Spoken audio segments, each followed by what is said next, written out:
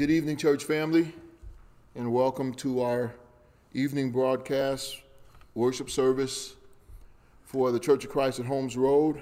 Thank you for joining us. We'll start out with a prayer before our uh, first song. Pray with me, please. Dear God, we come to you thanking you for being our God and asking that you bless this service, Lord as we worship you in spirit and truth, Lord. Pray that the things that we say and do uh, are pleasing in your sight. Lord, we are so thankful for your Son and for his great sacrifice for our sins, Lord. Bless us this day as we worship you. In Jesus Christ's name I pray. Amen. First song is Because He Lives.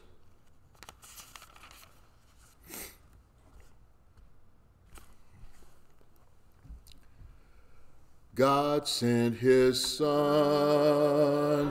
They called him Jesus. He came to love, heal, and forgive. He lived and died to buy my pardon. An empty grave is there to prove my Savior lives. Because he lives, I can face tomorrow. Because he lives, all fear is gone. Because I know he holds the future and life is worth the living just because he lives. How sweet to hold a newborn baby and feel the pride and joy he gives. But greater still the calm assurance this child can face uncertain days because he lives. Because he lives, I can face tomorrow. Because he lives, all fear is gone because I know He holds the future, and life is worth the living just because He lives. And then one day I'll cross that river I'll fight life's fight, no war with pain. And then as death gives way to victory, I'll see the lights of glory and I'll know he reigns because he lives. I can face tomorrow because he lives. All fear is gone because I know he holds the future and life is worth the living just because he lives. Amen, church. Our next song uh, is 535. Glory Land Way will be the song before the lesson.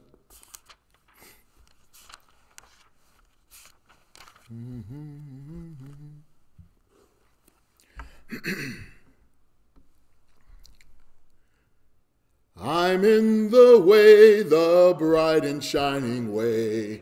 I'm in the glory land way telling the world that Jesus saves today. Yes, I'm in the glory land way. I'm in the glory land way.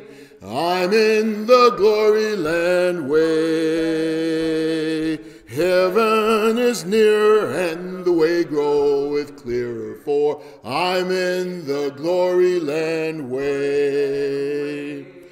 Listen to the call, the gospel call today. Get in the glory land way. Wanderers come home, oh, hasten to obey, for I'm in the glory land way. I'm in the glory land way. I'm in the glory land way. Oh, heaven is nearer and the way groweth clearer, for I'm in the glory land way. Onward I go, rejoicing in his love. I'm in the glory land way. Soon I shall see him in that home above. Oh, I'm in the glory land way. I'm in the glory land way. I'm in the glory land way. Heaven is nearer and the way groweth clearer, for I'm in the glory land way. Amen, church. Good evening, church. Welcome back. I hope you are uh, were able to worship with us this morning, and you're back with us for a Sunday evening service together. Uh, appreciate you taking time out from football to get this uh, service in together, and uh, hopefully it will be a benefit and a blessing to you, and hopefully it'll be a blessing to Jesus Christ as you worship Him in spirit and song with us this evening as we are looking at the book of Second John. Uh, we have been in a sermon series on Sunday nights looking at First, Second, and Third John, and uh, we're going to. We have just finished up all of First John, and so now we're looking at Second John together, and hopefully it'll be a blessing to you. We're we're just going to go look at the first three verses of, of Second John here this evening because uh, those are just the introductory. Uh, if you're wanting to outline uh, Second John, it's pretty simple. The first three verses are the introduction verses 4 through almost that last verse is the body, and then you have a closing. So it's pretty simple. And uh, Second John uh, is considered to be the most overlooked and neglected book in the New Testament. People who study these things, uh, they say James or the Gospels, obviously, with James with being so practical for all of us, uh, giving such life advice in Book of James. That seems to be the most studied, and of course the Gospels are, are there right there with James. And but the lowest, the least studied, the least looked at, it seems to be the most overlooked and neglected book is Second John. Uh, people, uh, even First and Third John are ranked higher, much higher above it, probably because it's in the middle, right? Just like when we sing a song, right? If there's a three verse song, you sing the first and the last kind of skip the second verse. That's kind of the way people act like with with the books of John. They they don't mind reading the first one, they don't mind reading the third one, but but Second John, for some reason, gets overlooked the most. Third John is the shortest book in the New Testament, and that's why many people maybe want to read Third John because they know it's the shortest. They see it's the smallest book, so let's go to it, and they'll read First John because it's the first one. But but uh, it's uh, Second John seems to get overlooked. It's closely followed by Second John as far as length. They're both second and third John are very small letters. that's why we don't say chapters. We don't say second John chapter one or chapter. There is no chapters. It's just uh, some verses because both second and third John are so small. But just because they're small doesn't mean it's not some powerful teaching. And just because it's very short, you could read it in probably less than a minute. But, uh, you know, it's, it's a very small letter. But even though it's small and short and concise, it is packed full of important uh, information. And that's why it is, it, I mean, all of Scripture is important, right? And so let us not overlook Second John in our daily studies. As we ask about the setting, what's going on here with Second John? Well, first of all, let me just say it's pretty much the same as First John. It's pretty much the exact same. Uh, he's dealing with those same three errors that we dealt with in First John. He's dealing with the false teaching of Docetism, which means which is that common philosophy that Gnostics come out of, where where they, they claim that Jesus was God, but he wasn't the Son of Man in the flesh. Uh, and so that he was dealing with that issue still in Second John. Uh, the second issue he's dealing with, we saw it in the first letter, but many people claim to be above sin. Many people in this particular time, in this particular congregation, because we're Christians, it's impossible for us to sin. They thought it's, it's impossible. No matter what we do, even if we do something wrong, it's not considered sin because we're in the body of Christ and He just washes us all the time. And so we can do no wrong, is kind of their philosophy. And so people thought we can't sin because we're in Christ. And so they didn't bother trying to keep God's commandments because they just kind of felt whatever they did, it wasn't considered a sin anyway because that's how much grace and the blood of Christ covers. And so John had to deal with that as well. And then the third uh, thing there is the the church there that John's writing to, they were kind of cliquish. They tend to like who they liked. They tend to love who they wanted to love, and they didn't a lot of they didn't love a lot of outsiders. They didn't love anyone outside of their their little inner circle, and so they were cliquish and they failed to love all their brothers and sisters in Christ. And uh, because of that, because of their lack of love for each other, uh, this is one of the reasons uh, John uh, needed to write this letter. So it's the same group of people that went through that split and all that stuff from First John, but he's dealing with these three errors within the book of Second uh, John. Um, many people will say, well, you know, well, we'll get into this in a second. Let's go ahead and jump into Second John chapter. Uh, uh, I almost said chapter, verse one. Second John, verse one. Let's look at this says, The elder, to the lady chosen by God and to her children, whom I love in the truth, and not only and not I only, but also all who know the truth. So John here identifies himself as the elder. Uh, in, in, case you are wondering, is this really John? Maybe because someone else, he didn't say it's me, John. It's universally accepted this is John. We know it's him from his his style of writing. We know it's him from uh, his emphasis and from even the acceptance of the early church. There's just so much evidence. It's universally accepted. I don't think anyone doesn't agree that it is John writing here. And so why does he why does he call himself the elder here in this particular uh, passage? Was he the elder of the congregation that he's writing to here in Ephesus? Is he saying, I'm the, the elder, just like we have elders? We have Marvin, Jerry, uh, Roger, Chris, and Dave. Is, is, is he saying, I'm an elder of the church that I'm writing to? Well, uh, what does he mean by this? Uh, the answer to the question, is he an elder of this particular congregation? The answer is no, not at all. This is a term that is used when he calls himself uh, the elder. This is a term in Greek that means age. He's saying, I'm old, is basically what he's saying. I'm, the old man is writing you, is basically what he's saying here. It is presumed that John is about 90 years old at the time of this writing.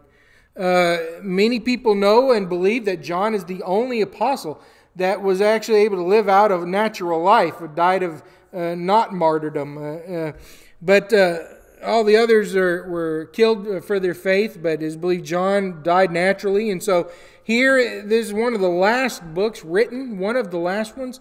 Uh, but he's almost believed to be 90 years old at the time of this writing. And so when he says the elder, he's not saying the elder in terms of office. This is not the Greek term used for a position of office, as we would say the elders of the church.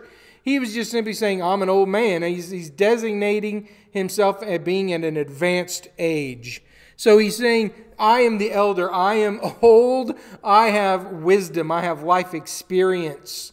And so that's what he's writing, and that's how he identifies himself. I, the old man John. Uh, now, there's a debate as to who is written to we, we see where it says the elder, John, he says to the lady chosen by God and her children. Now, there's a debate amongst scholars as to who this lady and her children are.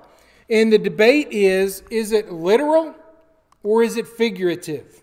And and so a lot of people there's I mean there's a lot of people on both sides of this argument. Uh, even in our own churches, in our own brotherhoods, people are, tend to argue is he writing one particular person and calling her the lady and specifying, talking about her family, or is it more figurative? The literal, the people who fight for the literal side say this is a time of persecution. The church is being persecuted. And John, when he says to the lady chosen by God, he's, he, he didn't want to name the actual person in his writing or in his letter because if the Romans found this, if the Romans found this particular letter and saw the person's name, then they would kill that individual. It would have been proof that this person is a believer in God and they would have had the right to then kill under Roman law this person at this time. and so a lot of people believe he was that John was just writing to one particular person, an individual leader or an elder in the congregation at that time and simply chose the, the term lady chosen by God as a pseudonym to hide that one person's identity. But then there are the figurative people that, that come along and say, no, no, no, this is not written to one person. This is a general term. The elect lady is, refer- is referencing the whole church. He's writing to an entire congregation of people. And the, the, the elect lady would be the church, and the children that are mentioned would be all the individual members of that congregation. Now, uh, as far as my own personal belief, I tend to fall more towards the figurative. I, I think he, in First John, he obviously wrote to a whole group of church. He wrote to a whole congregation of people, and I think he's writing to the same group. I just think he, he just he, he just uh, uh, wanted to write in a more figurative term as opposed to being more direct. Uh, years later, uh, in his in later down the road, but if people want to argue, say, no, it was a single person, okay, I'm not going to argue that point. If you want to believe a single person, that's fine. It doesn't change any of the messages in the letter, uh, but, uh, but um, either way, there's really no way to know for sure. That's what I want to tell you. There's no way anybody can be super confident whether it's literal or figurative, but uh, regardless of whether it's literal or figurative, it is important for all of us to understand. And he says here, the lady chosen by God to her children, whom I love in the truth. Is this shocking to you that John's first subject that he addresses is love? I mean, uh, you know, the, whether it's individual, whether he's writing to an individual or a congregation, John's purpose is to encourage them. And John, he says, I love this chosen lady. Whether it's this, uh, the individual person he's writing to, the leader in the church, or if he's writing to the church, he says, I love this, this lady. I love them. I love them in the truth. Not only John, but everyone who knows truth. He's really, he's bringing a lot of love to who he's sending this letter to. He says, Not only I, but everyone who knows truth, everyone who believes in Jesus Christ and believes that he was the Son of God and Son of Man, and who believes all of that, we all love you. And we all love the chosen lady. And so the implication here is that anyone who knows Christ, anyone who, who, lo- who knows Christ, loves those who also know Christ. And I don't know about you, but this is a great encouragement to me and to know that if I'm traveling around America and my car breaks down, I can call someone in the church in that particular town to know that they're going to love me and help me out. That's the way we are in the brotherhood. That's the way we are in the church. When I was in college, I had the great opportunity to be part of the a cappella chorus. And we traveled so much. Every, every semester, we were traveling all over this great United States of America. And every town we went to that we did a concert in, we would stay with people in the homes of who belonged to that church. And it was just so interesting. No matter who, what town we were at, no matter where, places I've never even heard of before, we're staying with, and we start making connections. Hey, I know so and so, you know so. Hey, it was like a big family. Everywhere we went, we we made connections. And that's the way the church is supposed to be. And that's what John is saying here. I love you, the lady, and so does everyone else who knows the truth. Isn't it nice to know, Lansing? Isn't it nice to know people in Holmes Road Church of Christ? Isn't it nice to know that we love each other, but we're also loved by people in Texas, in California, in New Mexico, in Colorado, in Florida, people we don't even know love us. Isn't that encouraging? That's what the family of God is about. And that's exactly what John is mentioning and teaching here. The church is an international place of love and acceptance. No matter where you go in this life, there is a place you can find love and acceptance. To our graduates, when they graduate from college, when they start picking up where they want to go for college, I, I don't care what college you pick, I don't care what college you go to, get with the church. Stay loyal to the church because that's where you're going to find your love and that's where you're going to find acceptance. Whenever you move to a new town, if a job ships you around, if you get if you get sent over here for another job or whatever, find the church. Find the church because that's where you're going to find love and acceptance. And folks at Holmes Road, we need to be that kind of people for everyone that shows up at, the, at our door. Everyone that walks in our doors at Holmes Road Church of Christ, we're going to be opening again soon. And when people come, no matter where they're from, no matter where they're at, they need to know this place loves them. Whether they're just passing through, whether they're new to our community, or whether they're from our community and looking to make a home, whatever the situation is, they need to leave knowing that they are loved and accepted here at this body. That's what John is doing for these people. The, the love of the church is anywhere. And the love of the church is an anywhere, forever loving family. And that's exactly what John is pointing out here to, to his receivers of the letter. Look at verse 2. Because of the truth which lives in us and will be with us forever because of Christ. That's, that's what John's point here is. You can have this kind of love and acceptance because of the truth, because of Jesus Christ. The reason we have this benefit of international love, no matter if you go anywhere in the States, no matter if you go to Africa, Australia, Russia, China, wherever you go in this world, you're going to find the church and you're going to find someone that loves you and accepts you. And that benefit only exists because of Jesus Christ. We would not be able to have that. We would not be able to travel and find a brotherhood, find people who love and accept me anywhere I go in this world if it wasn't for Jesus. He is the cornerstone, He is the keystone of that benefit because He is truth. Now, I, I love this concept John constantly brings up that Jesus is truth. That means you can count on it. When something is true, you can count on it. And that's why he, he always says Jesus Christ is truth, meaning you can count on Jesus Christ. You can count on someone loving and accepting you everywhere you go eh, because anywhere you go, if you can find someone who loves Christ, then they're also going to love you. And he says you can count on it. You can have faith on it because all of that is truth. Truth never lets you down. His love and his people's love exists forever. And he even says in there, because of the truth which lives in us and will be with us forever. Forever. It doesn't, it doesn't stop even when the world ends. The love of the body of Christ exists now, and it's going to exist even after we die. It's going to exist in this world as well as the next. The love of the church family is never ceasing. that's why when we have people that die in our brotherhood, we're sad and we miss them and we mourn because we don't get to see them.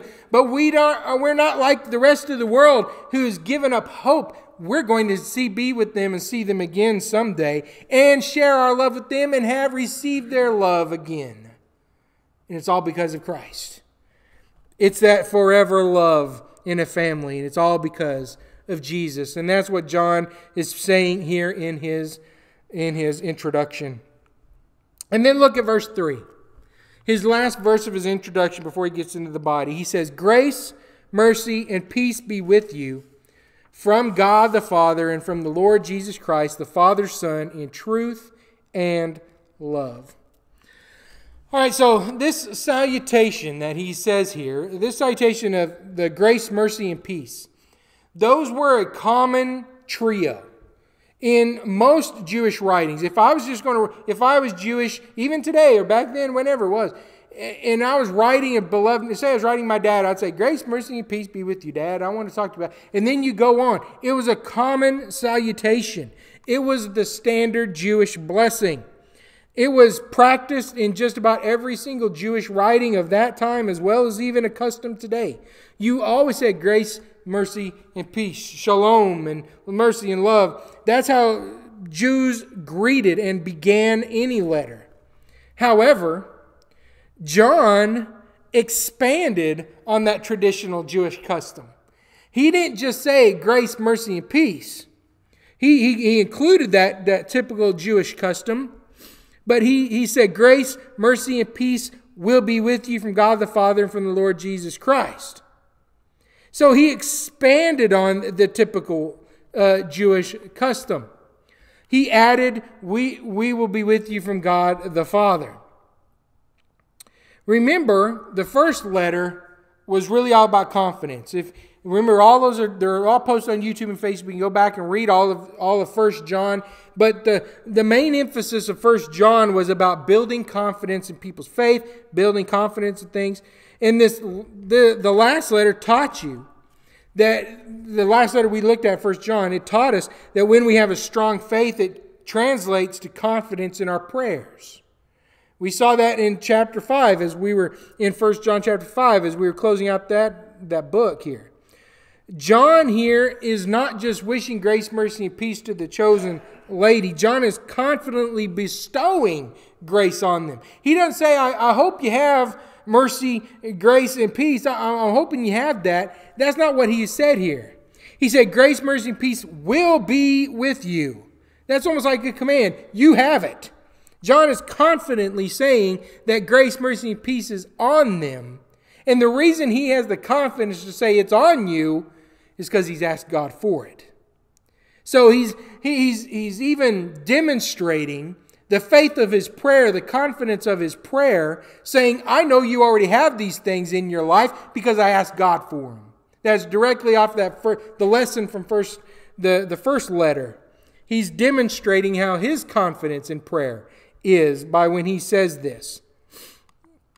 Uh, he's saying, I know God is giving you those things because I asked him to do so. When we ask God for blessings for others, do we have that same kind of confidence that the prayers will be answered in the same fashion that, that John displays here? When, whenever someone is sick and you pray for them, you say, Father, help this person to be better. When you call them, do you say, Hey, I know, I know health is upon you already because I prayed for it. I, I know you're doing better, right? And, and it's that kind of confidence, and that's the, the kind of lesson that John is saying here. The readers may already be encouraged here. Readers are already encouraged. John is not hoping for blessings. He's saying, I'm confident you are receiving them because I've already asked it. John then adds two more things to the traditional salutation. He, he says, uh, in truth and love. And do you kind of see that constantly coming up from John? I mean, this was a typical pattern in First John. In fact, this is one of the criticisms people have. Uh, I'm tired of him. They, they say he just says the same thing over and over and over. It's one of the, the critics uh, say about the letters of John. It says he just keeps harping on the same thing over and over again. And that's right. I mean, uh, do you, you can see an overriding pattern in John's life and teaching. He's constantly teaching about these two things truth and love. John cannot hardly write a single verse without mentioning these, one of these two favorite topics of his.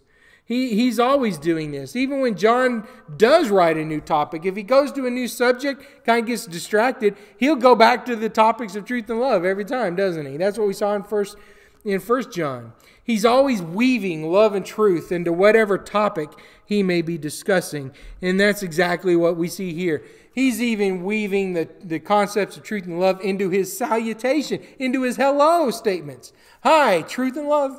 I mean, that's, that's just John. He, he wants truth and love to be permeated in who he is. John's implication here is obvious. He's saying you cannot have grace, mercy, and peace, that, those, that typical Jewish blessing, that typical Jewish introduction. He's saying you can't have those things apart from God's truth and love. If you want God's truth and want God's love, Eh, then, then those other things come naturally. When you're seeking God's truth and you're doing everything you can to stay in Christ and abide in Him and to be loved and to find His love and to love others, He says grace, mercy, and peace, they're just going to come. They're natural byproducts of those things. What the Jews would wish on each other every time they wrote a letter, grace, mercy, peace to you, what they wished on each other for years and years. John says it will not be accomplished unless you're rooted in Jesus Christ, in God's truth and love. Are you seeking peace today in your life? Do you say, My life is chaotic? Man, I wish I had some peace. Do you say, Man, I, I just, I wish I had some mercy. I wish I had some grace. It's ready. You just need to live in Christ and show love to Christ and love to others, and those things will come to you. It's an important lesson here for all of us to remember. Galatians chapter 6, verse 7 says, Do not be deceived. God cannot be mocked. A man reaps what he sows. Do you wish you had grace, mercy, and peace in your life? Well, then you should you're going to reap what you sow. Maybe if you're wanting more peace in your life, you need to give more peace. Are you showing grace? Mercy, and peace to others out of love and truth for Christ. Well, if not, what John's pointing here, if not, you're not going to receive it. God's not going to give it to you. Why would God give you grace, mercy, and peace if you're not giving grace, mercy, and peace to others?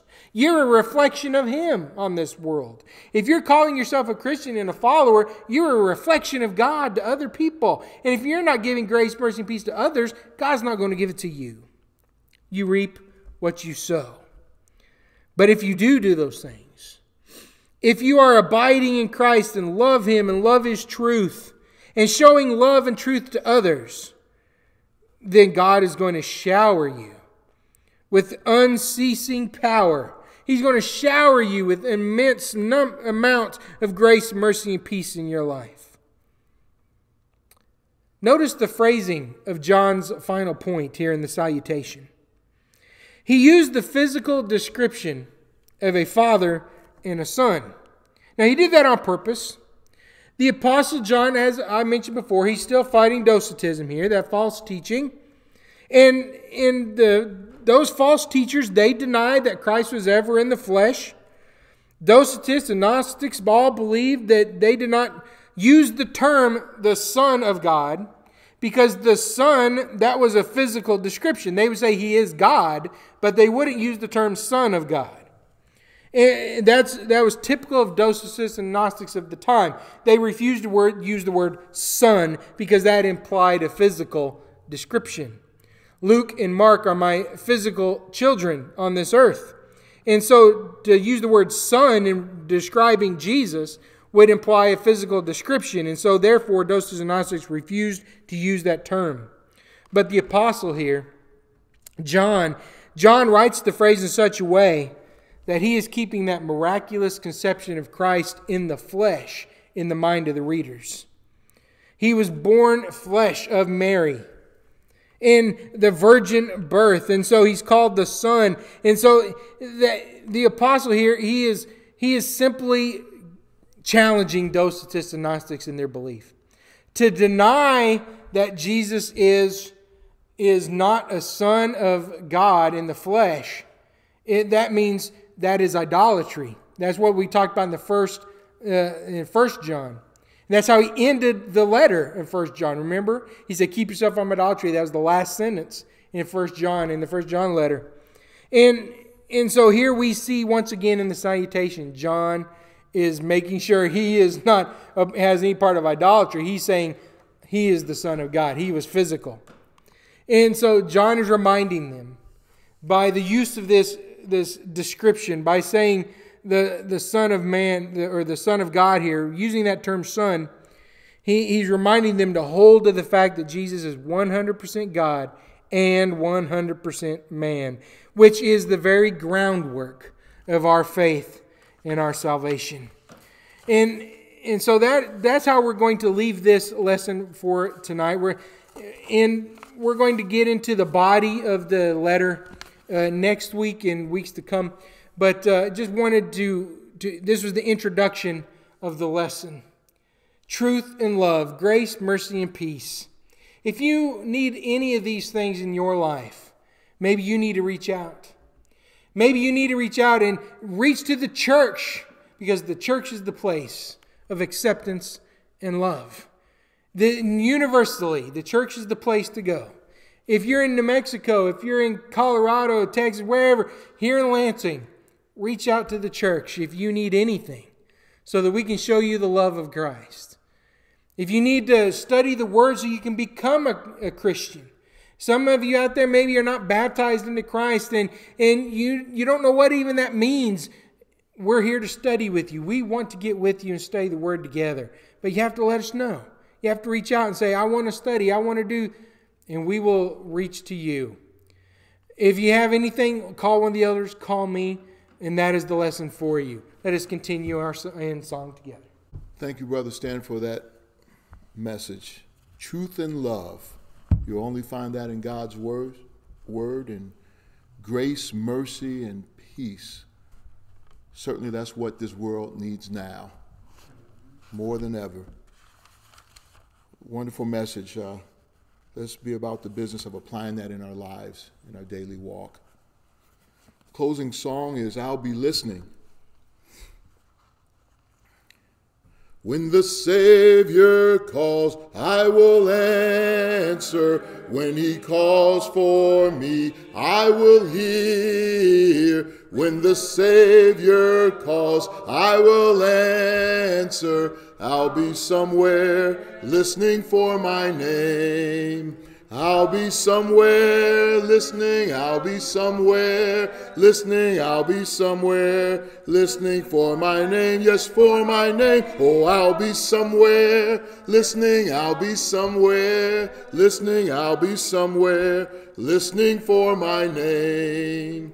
If my heart is right when he calls me, if my heart is right, I will hear. If my heart is right when he calls me, oh, I'll be somewhere listening for my name. Oh, I'll be somewhere listening. I'll be somewhere listening. I'll be somewhere listening for my name. Yes, for my name. Oh, I'll be somewhere listening. I'll be somewhere listening. I'll be somewhere listening for my name. If my robe is white when he calls me, if my robe is white, I will hear. If my robe is white when he calls me, oh, I'll be somewhere listening for my name.